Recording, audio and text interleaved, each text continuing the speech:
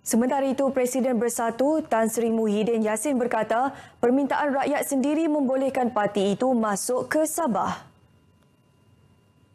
Sehubungan itu, beliau mengucapkan tahniah dan syabas kepada Datuk Seri Haji Ji yang menjadi penggerak utama kemasukan rakyat Sabah dalam Bersatu.